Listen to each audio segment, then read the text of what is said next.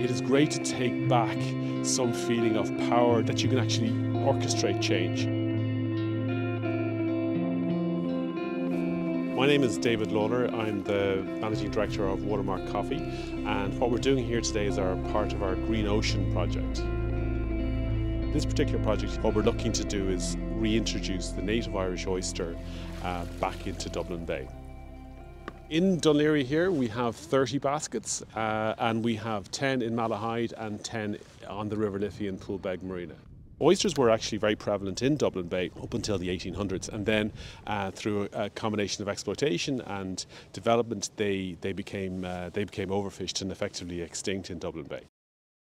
What's fantastic is that there's 13, 14 oysters in this basket, and they all look to be doing really well. Oysters are a keystone species, uh, and what that means is that they uh, they're the kind of the species that kind of kickstarts biodiversity, kickstarts the marine habitat. So what the oyster does is it actually cleans the water. It filters 100 each oyster filters roughly 190 liters of oyster of water per day. And so what's really important there is that once the water is clear, sunlight can penetrate the, the sea floor, which ena enables things like seagrass and seaweeds to actually propagate and photosynthesize. Seagrass is one of the greatest carbon sinks uh, you know, in, in, the environment. And what we're looking to do is to, to create that environment where oysters are enabling seagrass to start to, to, to grow back. What's really nice about oysters as well is that they stabilize the sea floor. And so what that means is that if there is things like storm surge, that it mitigates the impact of waves and, and storms coming in. So it has a huge benefit for coastal erosion. So the oysters are kind of the little engineer uh, that's kind of pivotal to getting all that process going.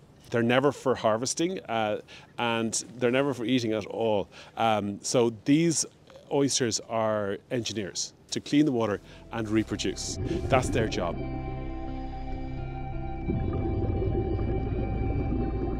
this isn't a brand new idea. So this is, I suppose, the, the this idea came to me first uh, through the great uh, Baltimore Oyster Project in the US, uh, which is part of the Chesapeake Bay Foundation. It has had a, an amazing impact there.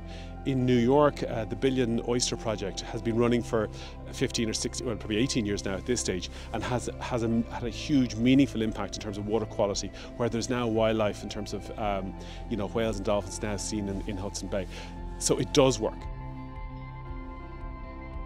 We've had a huge amount of help here, both from the Dún Laoghaire Rathdown, uh, County Council, Fingal, the Laoghaire Marina, Malahide Marina, Poolbeg, uh, National Parks and Wildlife, Bord Iascaigh Mhara, uh, the Marine Institute. So that has been a huge amount of collaboration and people have been very positive about this project. But fundamentally, we need uh, the community involved. We need businesses involved. Uh, we need people to come down and, and see what's happening when we see kind of climate uh, crisis, sometimes we think it's it's beyond our, our, our, kind of sphere of influence, whereas this project is actually really positive impact. The rainforest in Brazil gets a lot of attention, quite rightly, but there's lots of things we can do here in Dublin Bay.